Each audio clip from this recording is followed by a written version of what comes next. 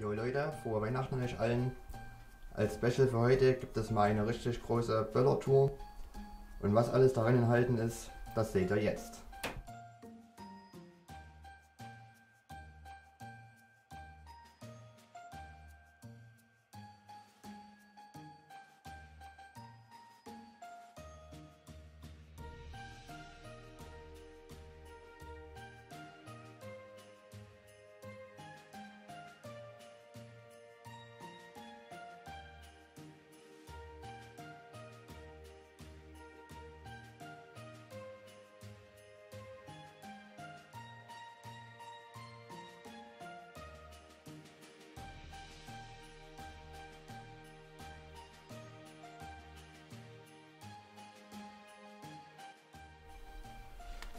Ja, ist auf jeden Fall einiges. Ich hoffe, euch gefällt das Video. Und dann würde ich sagen, sehen wir uns gleich bei der Zündung.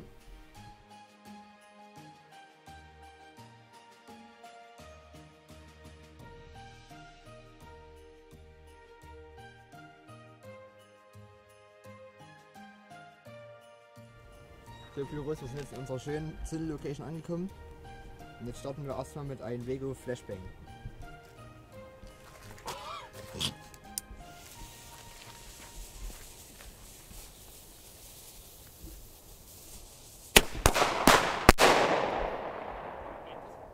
Richtig geiler Sound hier. So, weiter geht's mit den Knallern.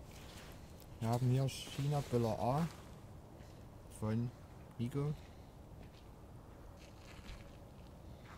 Ja, aktuelle Ware.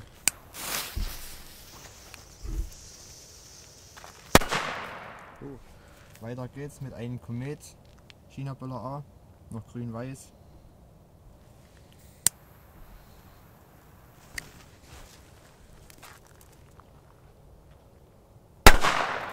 Alter, Alter, Alter. Nochmal Nico.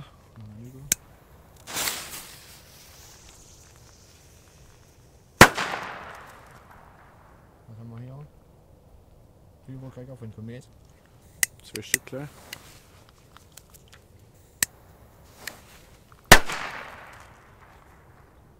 Ja, geht so. Nochmal China Böller A. Geile Linde, ey. Und schön laut, ja. Ordentliche Teile, ja. So, jetzt geht's weiter mit der Nico Packet Tracker Matte. Gezündet vom Pyrobox. Hi. Finde ich ja nett, dass du mich erwähnt. Ja, ne?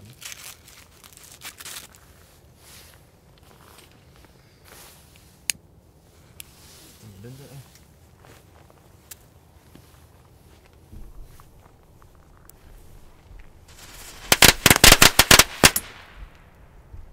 Ja, geht so. So, dann geht's weiter.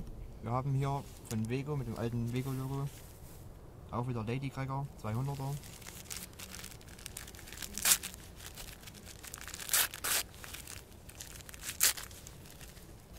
Laden wir jetzt mal vorzünden.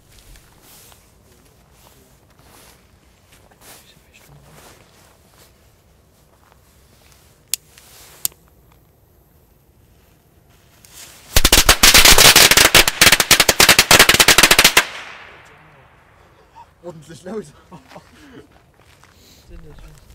Dann geht's weiter mit aktuellen Vego Lady Crackern. Gleich. Ja. Kann man gleich alles einmal machen.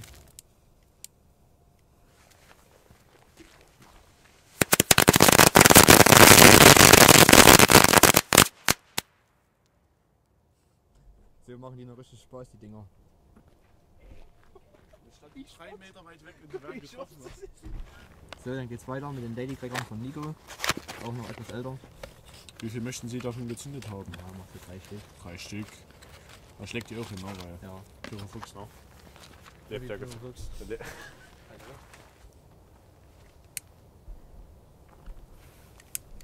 Profi hier?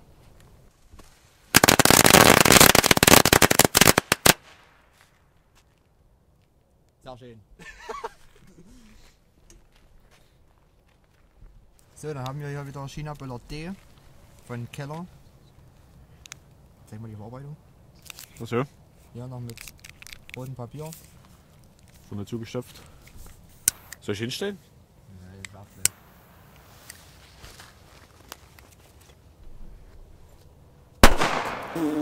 Richtig laut die Teile. Dann machen wir China T von Keller.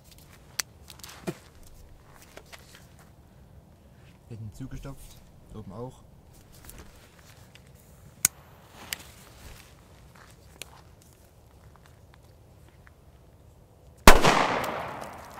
Da war richtig geil. Boah, ey. Dann jetzt haben wir hier mal ein Pyromax China Böller D. Auch noch relativ gut verarbeitet. Geile Wandung noch.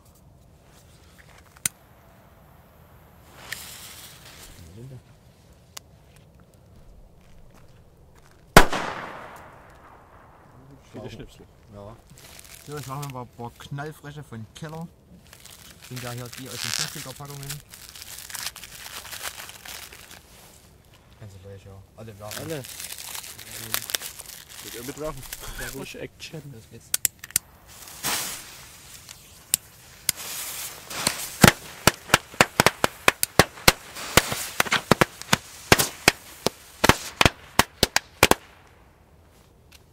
Geil. Jetzt haben wir einen kubischen Kanonschlag von Fox, beziehungsweise Büroort.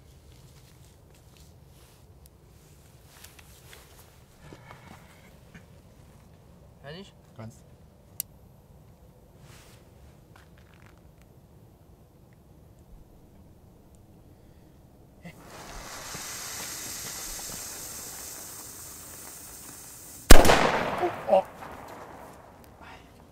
Ja, Büroort kann's halt. So, und jetzt als letztes den The King von Fire Event, der lauteste Böller. Deutschlands. Kann ich? Ja.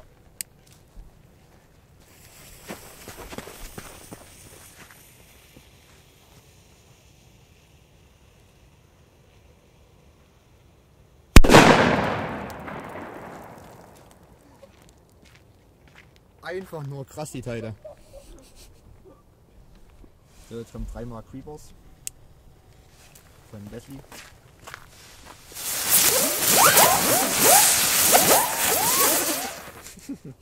Mega geil. Ja. Ja. So, jetzt ein Klasse 1 Artikel, den Tolide Seike.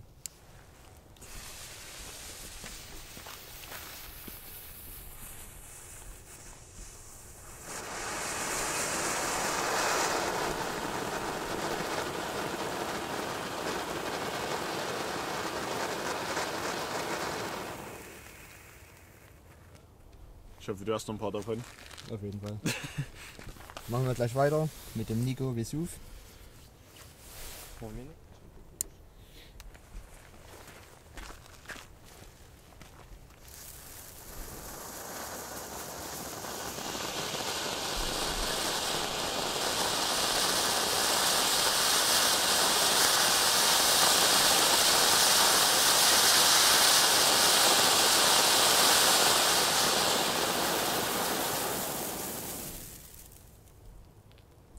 2 ist immer wieder geil, ne? Ja, richtig gut.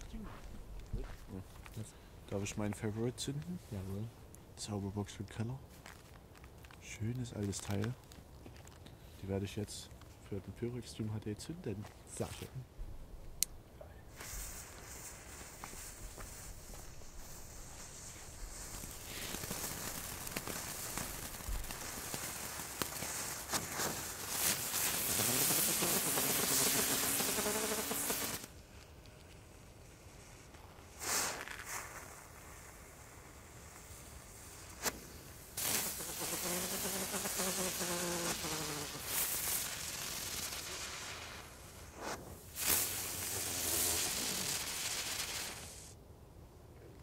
Sehr geil, ne? Das ist schon übelst geil. So, zur Abwechslung gibt es mal ein paar Bombenrohre, die Defender von Panda. 1 bis 3. Genau.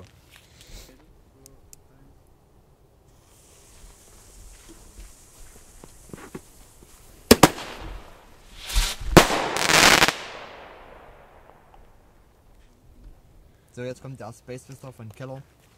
Soll noch mit zolliger sein.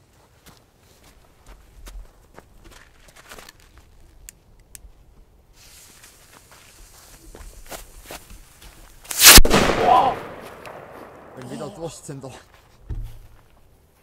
Alter.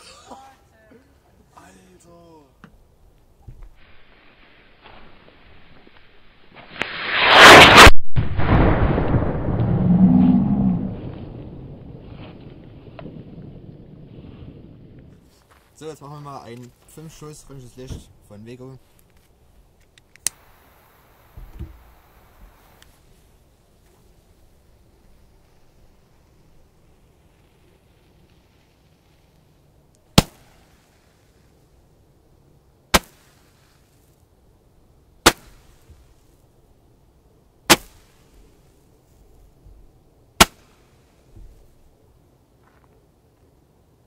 Das war's. So, jetzt haben wir hier alle Farben von den Big Flashing Thunder 2 von Vego. Geil. Och. So mit Blau geht's los.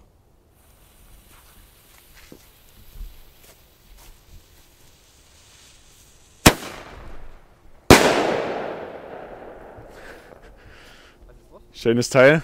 Jetzt den roten.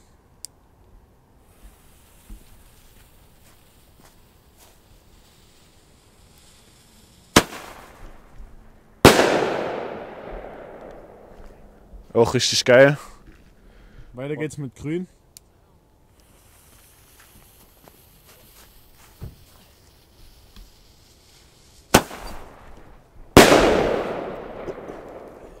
Also mein Ohr fiebt noch. Weiter geht's mit Yellow and the Egg.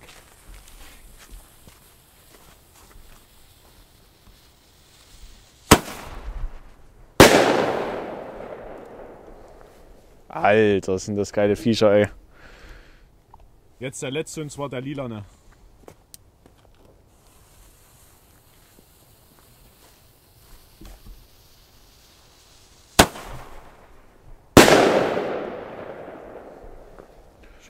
Wirklich richtig super Teile. Kann ich nur weiterempfehlen. Und der Pyrex Team HD empfiehlt die auch weiter, oder? Auf jeden Fall, sehr geile Teile. Sieht man das? So, jetzt haben wir hier Sanderkong Whistling und Sanderkong Max. Beide zusammengeschossen.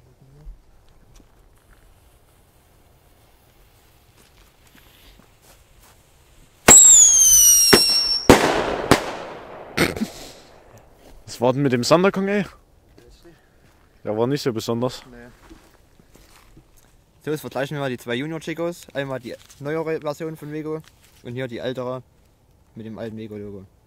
Zuerst die neuere. So, jetzt zuerst den aktuellen Junior Chico.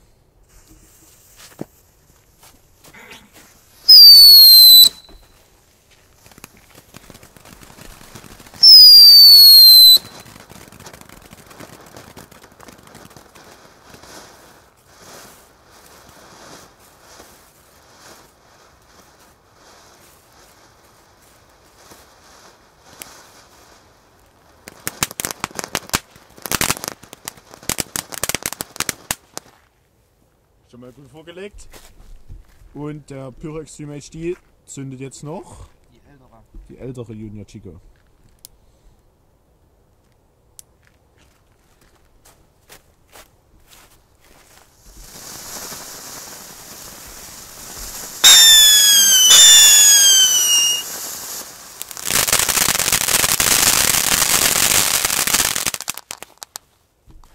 Also ich fand ja die ältere trotzdem Also die besser. ältere deutlich besser. Geile Pfeife und geileres Cracking. Und viel intensiver. Genau. So, jetzt hier die Galaxy Copters von Nico. Packen wir aus. Achso, wir mal checken. Kleine Ausstiegseffekte. in drei verschiedenen Farben. So, jetzt als erstes der rote.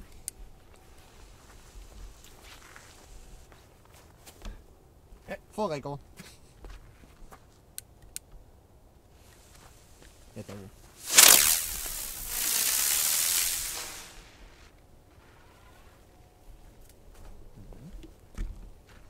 So, weiter geht's mit dem grün. Ne, gelb. Gelb, ja.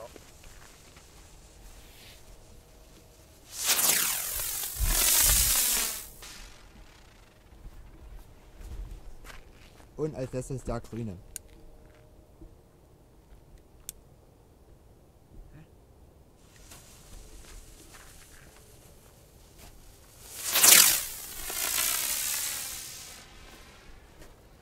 Ja, nicht schlecht die Teile. So, jetzt kommt hier aus Silberhütte die Vulkanfontäne. Noch schönes altes Teil. Mit drei Schuss. Sollte es haben.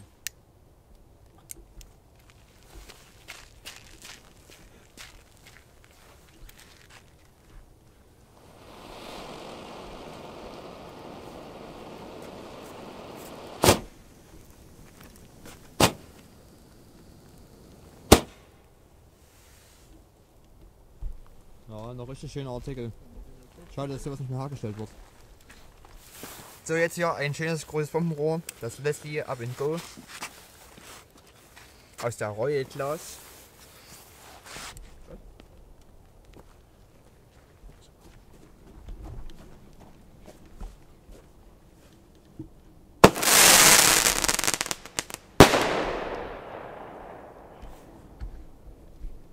Effektfeuerwerk, was sagst du?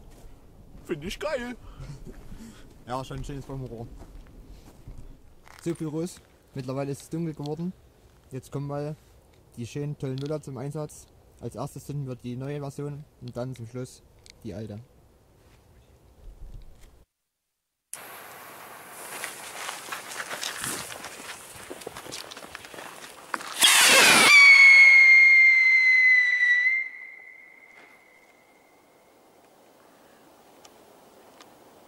So Büros und als Vergleich kommt jetzt die ältere Version der Lola mit dem alten Wege Warnzeichen aus den 90er Jahren. Wir sind gespannt, ob diese die neuere Version noch toppen kann.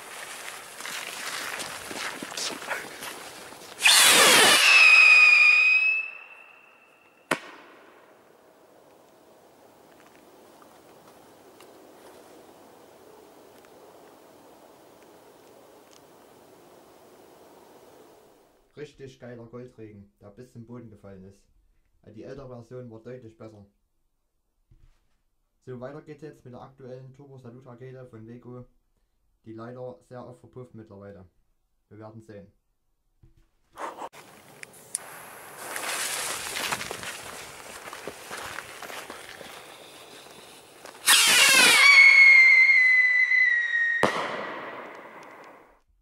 Und diese ist leider verpufft. Sehr schade drum. So, dann als letztes jetzt von den Raketen und als vorletzten Artikel für heute gibt es jetzt die ältere Version der Turbo Salut Rakete mit dem alten Wego Warnzeichen aus den 90er Jahren. Wir sind gespannt.